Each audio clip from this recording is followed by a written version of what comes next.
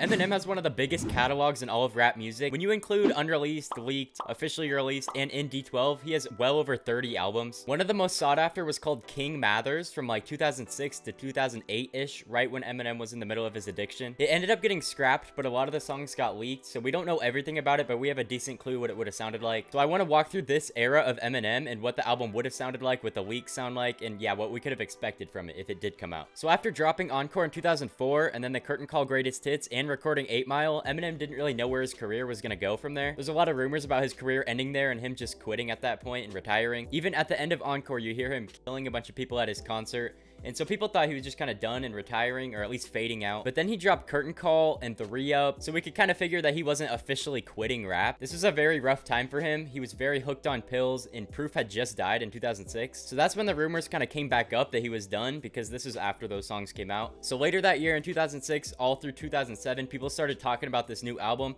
if it even existed, if he was going to be done. Apparently someone in Eminem's crew stated that there would be no plans for an album to come out in 2007. I wasn't able to find proof on that, but I've seen a lot of posts about it online, people saying that there's a publicist named Dennis, but we do know he was recording songs in 2007 still. The song Careful That You Wish For was recorded in 2007. A lot of Relapse was recorded in 2007, but this is where a guy named Cashis comes in who was signed to Shady Records. After Eminem overdosed in 2007, the Cashis guy came out and said that Eminem was working on an album called King Mathers. He actually said it a couple different times and referenced it in his songs. He ended up saying that it would be released in 2008, but either way, people still didn't know from Eminem exactly what was happening. It was just people kind of speaking for him. Like I said, the publicist went out and talked about it. Cashis just came out and talked about it, but nothing from Eminem himself. But it wasn't really until 2011, which was after a couple albums later, that a lot of King Mathers got leaked. So the tracklist for it had Difficult, the song about Proof's death. If you haven't heard it, it's on YouTube. Kind of hard to listen to. It's a really sad song. 50 Ways, Ballin' Uncontrollably, which you guys keep commenting that I should react to.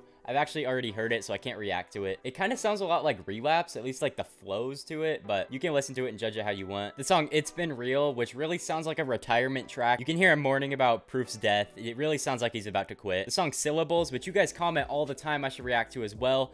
Seems like it's banned on YouTube. I searched it up, so I listened to it already, and it said that you have to speed up the video because YouTube auto detects it and shuts it down and strikes your channel. So yeah, that track is very well guarded apparently. There's a freestyle over 50 cents I Get Money beat, and yeah, a couple other tracks, but those are the main ones you've probably heard of, and if not, you should go listen to. I've heard some rumors about it having like the curtain open, curtain closed that the Eminem show and Encore have. I don't believe that. I don't think that's true. It doesn't really fit the theming in my opinion, but maybe it did. If you listen to It's Been Real, and if you listen to Difficult about Proof, it really does sound like this would be his last album, like he was planning on quitting, but we know now in 2024 that he didn't quit. There's been a lot of speculation about the leaks that would have been on the album, like 50 Cent, Cashis, like I said, Obi Trice, Jay-Z, and even T.I. T.I. kind of has like another alter ego like Slim Shady. So I don't really know how well that would have fit on an album with this theming, but that's who people have kind of said would have been on it. On April 20th, Eminem got sober, and that's where he kind of changed his direction on what he wanted his next album to be. If you've heard that freestyle slash song I'm Having a Relapse that Eminem recorded, you can really kind of see where his mindset was. Also Crack a Bottle, I believe those were the first two recorded at that time. So this is kind of where the King Mathers album kind of died out. People realized he was kind of shifting away from dropping that. Because of the fact so many songs were leaked, like we went over earlier. I didn't even read through all of them, but with how many leaks there were, there's a lot of fans that kind of combine them all together,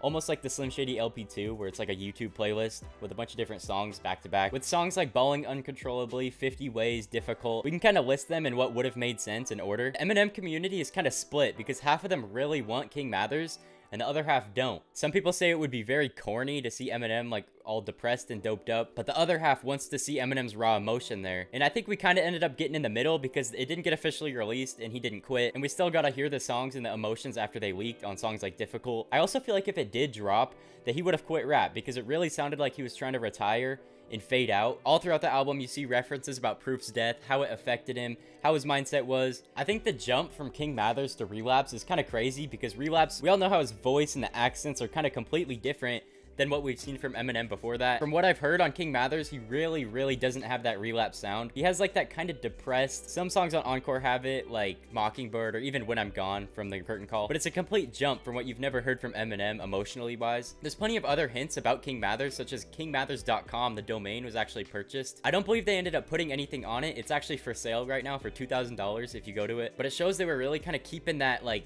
IP and that album name and they were going to go with it. This is what they were going to use for the name. And yeah, like I said, I'm glad this album didn't come out, but I'm glad we can also hear it just because I feel like he would have quit if he did release it. Maybe he would have done a couple features, maybe not. We don't really know. But yeah, thank you for watching. If you want more Eminem videos, you can click right up here. I have a playlist full of Eminem videos like tier lists, rankings, all that. So if you want to check it out, you can. If not, I understand. If you enjoyed this video, like it. If you didn't dislike it, thank you for watching. Peace out.